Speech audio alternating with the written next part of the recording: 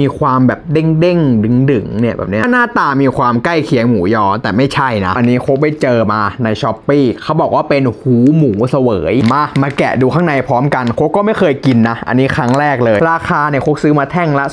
265 บาท ข้างในเขาก็จะพัน wrap แบบนี้มาอีกทีนึงเพื่อนนี่เป็นแท่งๆแบบนี้เลยโคกก็แปลกดีนะ เกิดมาเพิ่งเคยเจอนี่แหละหูหมูเสวยเพื่อนๆมีใครเคยกินบ้างเนี่ยฝากคอมเมนต์บอกโคกหน่อยนะครับเขาบอกว่ากินแบบเย็นๆได้เลยนะ ลอกออกมาแล้วหน้าตาก็จะเป็นแบบนี้เลยเพื่อนเพราะว่าหน้าตามีความใกล้เคียงกับหมูยอ มีความแบบเด้งเด้งดึ๋งดึ๋งเนี่ยแบบเนี้ย ไปครับคำโตๆ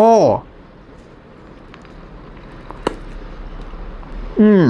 เอ้ยผมว่าใช้ได้เลย เพราะว่ามีความคล้ายๆพะโล้นิดๆรสชาติเนี่ยจะออกหวานนำแล้วมีเค็มตามนิดนึงกลิ่นก็คล้ายๆพะโล้เหมือนที่บอกเลย แล้วเพื่อนๆดูข้างในตรงนี้จะเป็นหูหมูนะ ก็จะมีความกรึบๆอะเหมือนข้าวหูหมูมาปั้นๆให้มันเป็นก้อนนะครับเพื่อนๆข้างนอกก็จะเป็นคล้ายๆ แบบส่วนของหัวหมูส่วนของหนังหมูอะไรอย่างนั้นอะจะมีความเป็นแบบคอลลาเจนแล้วก็มีหูหมูกรึบๆจริงๆเขามีน้ำจิ้มมาให้ด้วยนะ แต่น่าจะทิ้งไปแล้ว แล้วก็วิธีกินเนี่ยเขาต้องหั่นมั้งหั่นเป็นชิ้นเล็ก ๆ อย่างเงี้ยแต่มันไม่สะใจไงเลยกินแบบนี้ดีกว่า ไม่แน่ใจว่าเป็นอาหารของภาคไหนนะเพราะว่าเป็นพวกแบบกับแก้มได้ดีเลย รสชาติก็ประมาณนี้เลยครับ หูหมูเสวยแปลกแต่อร่อยดี